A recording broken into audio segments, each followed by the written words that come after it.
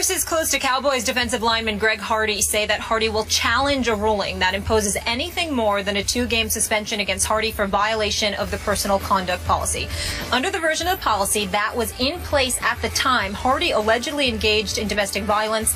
The standard penalty for a first offense of that nature was a two-game suspension without pay. Hardy and the NFL Players Association contend that the NFL applied new rules retroactively to Hardy and that the Hardy suspension should be only two games based on the rules in place of when the conduct occurred here. So, Kate, how should the league handle this?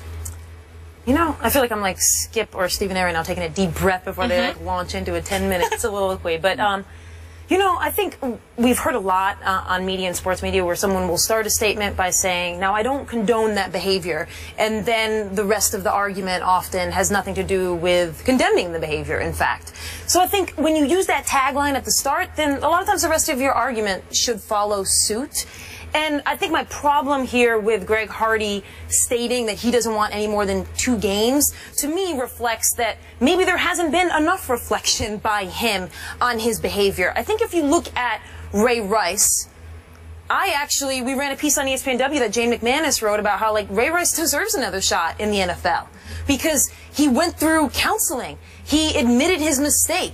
He said what I did was wrong. So my argument is not, I don't think Greg Hardy deserves a second chance or he shouldn't play in the NFL again. I just think when all of his communication has been to this point, here's what I'm not going to accept. Here, I don't want to miss more than this. He has yet to miss a dollar of NFL pay to this point since he was paid for all of the previous year. So my issue is all he's communicated to us is that he doesn't accept responsibility. I mean, he agreed to a settlement with the alleged victim and that's how the charge was dismissed and we all know that so at what point has he taken responsibility mm -hmm. that's my issue can I name you a, na a, number of games that feels right? Sure, I could give you six, eight, that feels right. I don't know. What would feel right is if he accepted responsibility. So what should the league do? I think the league did what I wanted it to do, which was issue a very severe penalty. Now, you all discussed previously about the fireworks and, and Goodell's punishment with Deflategate. Maybe does he go over because he knows it's going to come back? Maybe that is the case. Maybe we'll see Greg Hardy with six or eight games and that will, I don't, but I don't know what feels right. What would feel right to me is if Greg Hardy took responsibility in some way that was public and made sense. So there's a theme for your and my disagreement throughout the day, and that is feel versus what is written down. I don't know what feels right either. You point out that condoning or condemning behavior should be separate or should follow with whatever punishment. What I would you is they should be separate.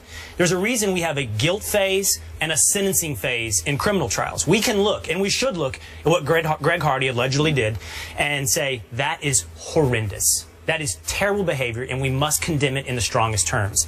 However, when you move to sentencing, you have to follow the letter of your law.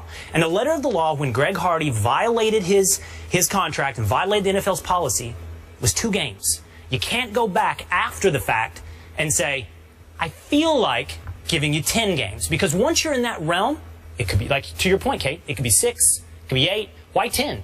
What's 10 have to do anything except our collective feeling to our argument earlier? Roger Goodell cannot follow collective feeling. You have to follow the law, the contracts, the CBA that you signed your name to, and that dictates two games.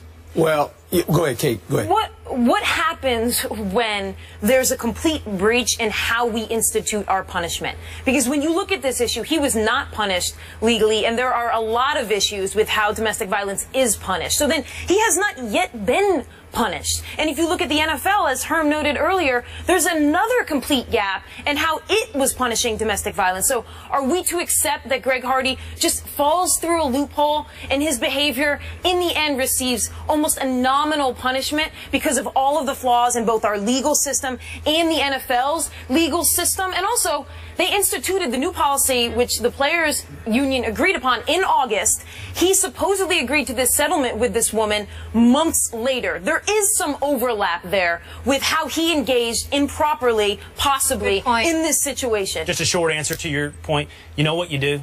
Is you fix the law. You fix the CBA. You fix the rules. And they have. It will no longer be two games, but you can't change the timeline. Both of you make good points, uh, especially when you sit here and, and, you look at how he's conducted himself compared to Ray Rice. He, he has recept, uh, you know, no responsibility. There's no remorse. But here again, he sits in a situation where he understands and his lawyers understand these were the rules before. Now, he did not play football. He got paid. You're exactly right. He got paid. In my humble opinion, if you decide to let this guy back in the league, which they decide they're going to do, they're looking at should we take more games away from him? For me, the first thing you got to do is you got to find him. You should find him. I mean, you should take some money away from him, whether it's four weeks, ten weeks, eight weeks of pay. Take that away from the guy. And then, then you got to decide, do we continue to say, okay, now it's six games, two games, four games? You know, when you take the player off the field, in my opinion, that affects him the most yeah. when they can't play. He, he's, he's not been able to play football a whole year. Okay, now we come back with a new CBA rule that says, you know what, the, the, the rules we had before, uh, they were obviously obsolete. They should have been looked at a long time ago, but obviously when domestic violence became front stage for us, we all looked at it and go, that's what it looks like. Mm -hmm. This is awful. Mm -hmm. And we've got to change this. Not only in football, in society. I mean, we're talking about football. This should be changed in society as well, okay? In my humble opinion. But when you look at his situation, there was a loophole. Yeah. You're exactly right. And his his his team is saying, here's a loophole with the with you know with the league uh, He's saying he's a union. victim of circumstances. Yeah, but no, well, he, no, he put himself he put himself in that situation. No, but I mean the circumstances in terms in that it, it, was, yeah, it wasn't suspension. in place. That's so, exactly so my right. thing is, and I could be exactly wrong here, but just just take the punishment. And, and, I'm not a player, so I don't know. You've already sat out a year and that kind of thing. But just take the punishment, and then maybe we'd see some remorse and go through the process like Ray Rice did. Why, why are you going to fight it now? Right. I mean, I'll, I'll add a parallel here, which is only a parallel in terms of a suspension and not fighting it is, is Brittney Griner's situation in the WNBA. There was a lot of groundswell among players in the WNBA saying, don't take that long of a suspension because it's setting a precedent. She was never going to fight that because she accepted responsibility did not want to put herself in the position to be seen to be fighting a suspension for behavior that she truly felt bad about and wanted to receive counseling and she didn't want the optics of that to make it seem like she wasn't taking responsibility. And that was the situation in the WNBA. So you're right when it comes to Greg Hardy. We can talk about legally, loophole, whatever, but if you want to talk about the optics of does he take responsibility, continuing to fight this shows me that there's very little responsibility being taken. You know, as to what his punishment should be and what his behavior should be, I just simply can't indulge that. Could, in other words, you suggested, Herm, he should lose some money. Yeah. Kate, you suggested he should lose six, eight, ten games. And if the four of us sitting at this table were in charge, we probably would come to some de decent agreement. He did something horrendous. But the truth is, our four feelings can't dictate what is right and what is just. It can only be an agreement of all parties involved. And in this case, it was the players and mm -hmm. the mm-hmm. teams with prescribed behaviors and illegal behaviors and what the punishment would be. And my only point to you is when you have an agreement like that, everyone's feelings about this sounds right, this is the message we should send, are almost beside the point. You cannot change your punishment after. I have two kids. You cannot change the punishment after the fact. So you're saying two you games. will not get the behavior you want. If I tell my son, if you do that, you're going to timeout, and he does it, but I decide I, am going to spank him for that instead, I promise you, he will feel the injustice. So you think he will not correct his behavior. I think it has to be two games. I don't feel it should be anything. Because that's what it, says was. It has to that was games. the rule at the time. That was the rule at the time. So do you think it should also be two games, or now that we've instated these better rules, do we go by the new policy? You know, I look at it this way. They've taken him off the field for a whole year. Now, whether you say two games, well, then people are going to say, well, why is it two? Why shouldn't it be four? Okay, then we get back into it because because the rules before said it was two. You know, I know this. A lot of people are upset in the fact that yo, you took him off the field, but he still got paid. You know, a lot of people looking at it and say, well, you paid the guy for, for an injustice, and he still got his salary. He, he missed games, but you didn't do so. You know, I'm looking at well, take some money away from the guy because you've already he's already left the field. He couldn't play football. You're saying the suspension, in effect, has already been served. Yes. But now yeah. take some money. Take some money from the guy. It's a full year, yeah. and then and then they should. It's a full reach year. into his pocket. I get reach into the pocketbook now. Say yeah. we're gonna get you on both it's sides. Been way more you're, you're not gonna all of a sudden just miss two games. Yes. Right. You've been paid for 16 that you didn't play. No, that now you're gonna miss sense. two, and we're only gonna take two games salary from you. No, no, no, yeah. no, no. That's not right, in my opinion. But I'm I'm not.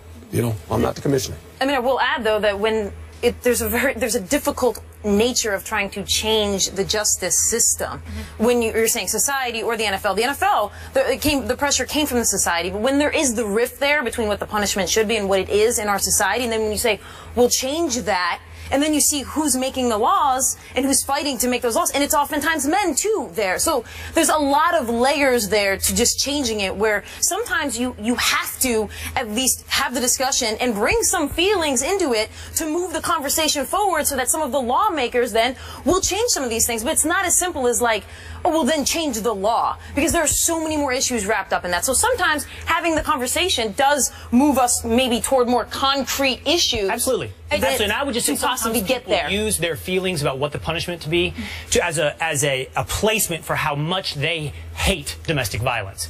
In other words, I really don't like domestic violence, so I want his punishment to be banishment forever. Mm -hmm. That's not that doesn't make sense. You can you can condemn the behavior with all your sense of being and also say, but this is what the punishment's supposed to be because this is what they agreed upon.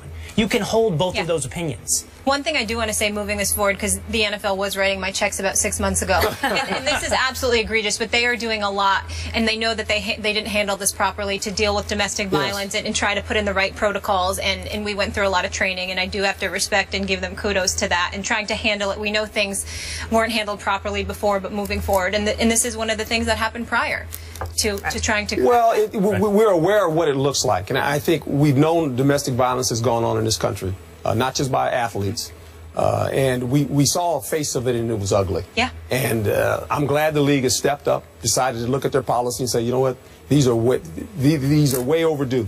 We need to become better at this, and we need to go into the forefront of this to, to, to make a, a, statement, not only just to, to our society, hey, this, this cannot be tolerated by any stretch of the imagination. All right, we'll leave it there. LeBron, meanwhile, locked into Cleveland for at least one more season. So how many more will he actually play in Cleveland, though? That's the debate coming up next. Is that it for Herm? Getting out.